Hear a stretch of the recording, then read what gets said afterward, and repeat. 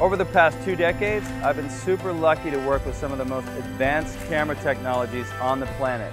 From air, land, and sea in every location, drones have opened up an entirely new perspective on how I can create content and share it with the rest of the world.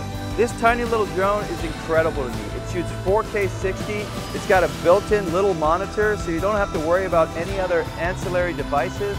Also, it shoots a log setting, H.265. This super power-packed feature set that comes in something that fits in the palm of your hand is mind-blowing. It's incredible. It's really empowered me. You feel like you have Hollywood in your backpack or in the palm of your hand.